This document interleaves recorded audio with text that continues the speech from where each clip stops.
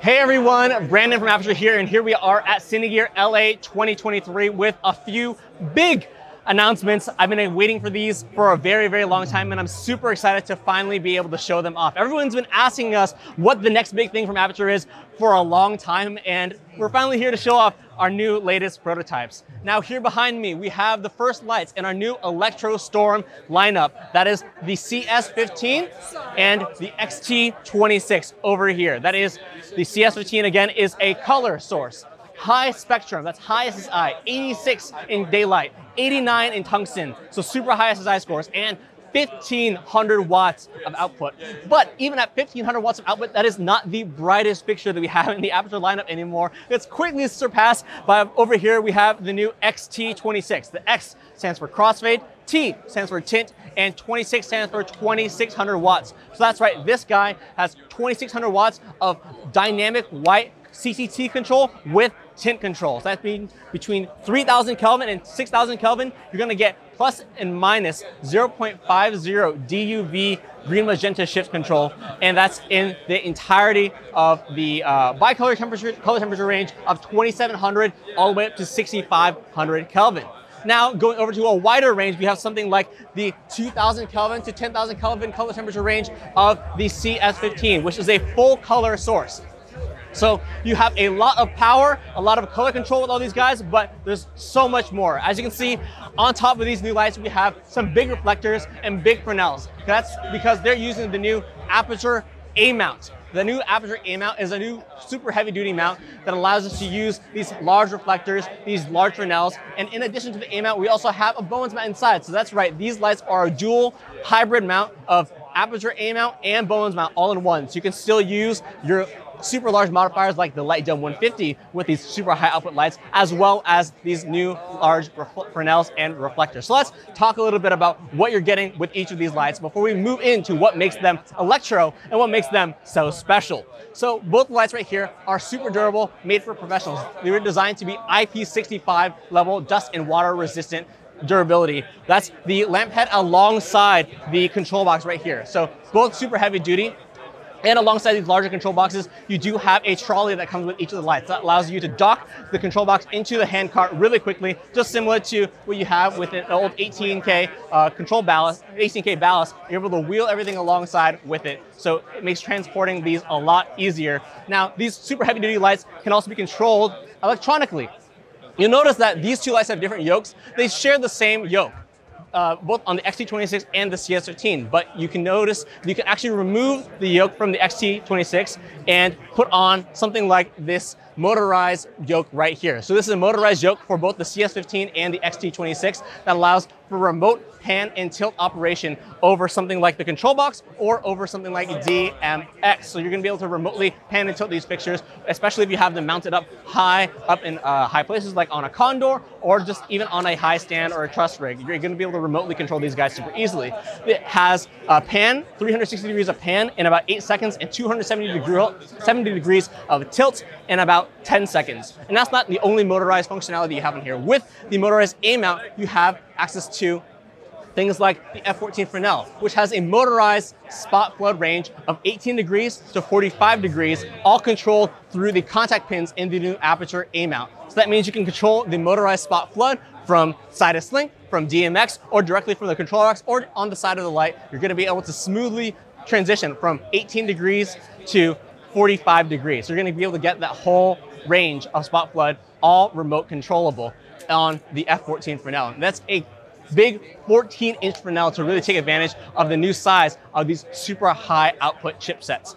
That's right here again, the 1500 watt output of the CS15 and 2600 watt output of the XT26. Now, what does that mean in terms of actual output capability? With the CS15, you're approaching basically a comparable light to 1.8K HMIs in daylight. So you're gonna be able to get a serious amount of punch out of this CS15. And now, not only with adaptable white, dynamic white control, you're also getting full color control out of this guy as well. Now, if you want to step up to a higher output fixture, you want to compete and get something close to an M40 or a 4K HMI or even a T12 tungsten, uh, you're going to step over here to the XT26. Now, the XT26 is again a 2600 watt dynamic white with CCT and tint control bicolor chipset that means you're gonna be able to get in daylight a stupid high amount of output, especially with a narrow degree reflector like this guy that we have on right now. And you're gonna be able to get output equivalent to that or very close to that of a 4K HMI.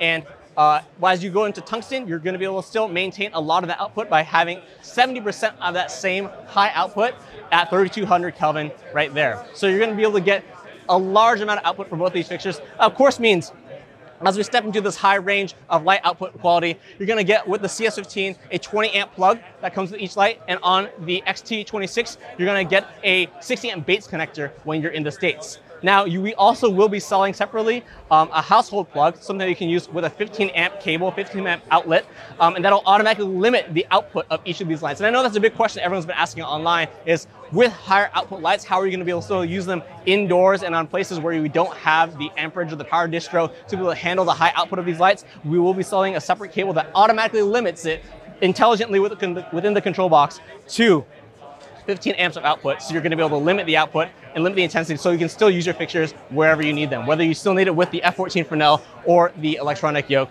Now, with each of these lights, you have the option of three different reflectors. You have a wide reflector, a medium reflector, and the narrow reflector um, that are all using the A mount. You can see what I talked about here, you have contact pins on the back of each of these reflectors. Now, these reflectors are not motorized, so what's the point of having contact pins in the back of these? That's for calibration. So with the CS15, you're able to accurately tune the color temperature of each of the light to the actual optics of the reflectors or Fresnel that you're using it with. That means that when you throw in the wide reflector, when you throw in the narrow reflector, when you throw in the F14 Fresnel, the lens is going to calibrate to the color that you want, meaning it can use its full color capability to adjust the final output color of the fixture to get you a more accurate white point. And you can do something similar with XT26. Now that one has dynamic white with green magenta shift using a WWG chipset. And it's white, white, and green. So that means you're gonna be able to make it as accurate as the CS15, but you're still gonna get optimization with each of the reflectors that you have here. So you have tons of capabilities with both of these uh, modifiers with uh, both of these options. Now these control boxes are super heavy duty. You have all the connectivity you could possibly need all in an IP65 control box. You have USB, you have DMX in and out, you have two ethernet ports, and you have two DC inputs on both of these lights. On both of these control boxes and with plenty of control and all, of course the super super easy to access UI that you're all used to having with these lights. I'm super, super excited about what both of these lights have to offer, both in terms of their versatility, in terms of their color control and their green magenta shift, as well as in terms of their output. These guys are going to be the newest flagships of the Aputure line with the Electro Storm.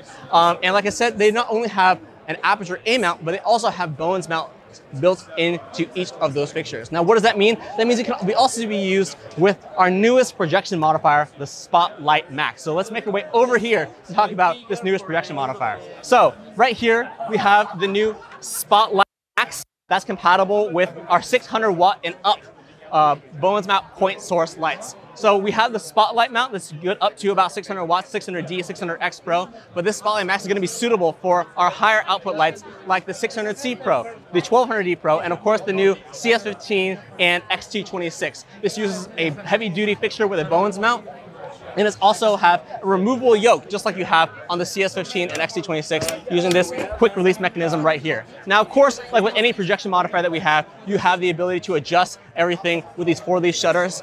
Um, and you have the ability to throw in an iris, which is a dual layer heavy duty iris that we made specifically for this Spotlight Max. But in addition to that, you have the ability to rotate your gobos. That's right. This rotatable gobo holder can take A-size gobos as well as and it has an adapter for B-size gobos.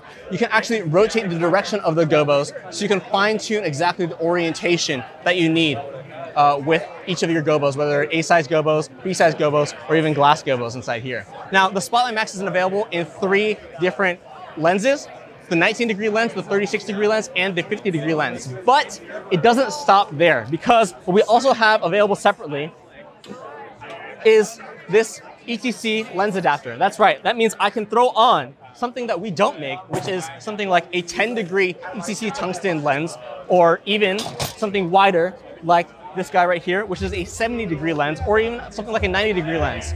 This means that even if we don't make a particular lens that you need to throw the projection of, to throw the beam angle of, you can adapt an existing ETC tungsten lens to use it with that fixture. So if you need to spot it in, something that's going to be really useful is using the Spotlight Max with some of our high output fixtures and a five degree lens with something like a CRLS reflector system, you're going to be able to get super, super nice control of your light and super far throws so you can get that nice collimated look like you're shooting with the actual sun. Now, this is going to be the projection modifier to use for all of our Bowens mount point source lights, like the 600C Pro all the way up to the XT26, whether you want something that's full color at 600 watts, all the way up to our dynamic white with CCT and tint control XT26. You're gonna have a lot of options with this new Spotlight Max, and this is gonna be the projection modifiers you get to shape your lights. So you can use them with things like CRLS reflectors and more. So if you wanna find out more information about these uh, products, you can come by at Cine Gear, of course, or if you missed this and you're seeing this later, be sure to sign up at aputure.com